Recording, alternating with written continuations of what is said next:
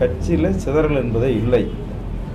சில பேர் நீக்கப்பட்டிருக்காங்க அவ்வளோதான் அது யார் வேணும் போடலாம். ஓபிஎஸ் இந்த இவர் நினச்சா இப்போ யாராவது ஒருத்தர் புதுசாக யாரையும் போடலாம்.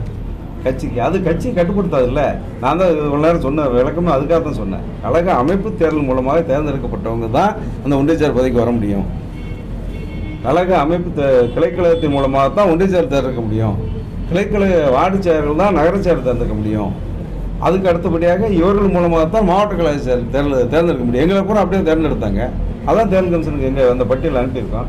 இவர் நியமிக்கிறவங்க எப்படி செல்லுபடியாகும் அது இரண்டாவதுக்கு ஏதாவது வம்புக்கு பண்ணுவாங்கல்ல அந்த மாதிரி அதுக்கு ஏதோ பண்ணு சும்மா கண்ணில் தட்டு போட்டவங்களை எல்லாம் கூப்பிட்டு வச்சு நீ நகரச்சாரு நீ மாவட்ட சேரு நீ ஒன்றிய சேருன்னு அறிவிச்சா அந்த நியமனத்துக்கு அர்த்தமில்லாத நியமனம் அவர் போட்ட பதவி செல்லாருங்க செல்லாது. அதில் செல்லதுக்கு பேச்சுக்கே இல்லை அது அர்த்தமில்லாத நியமனம்.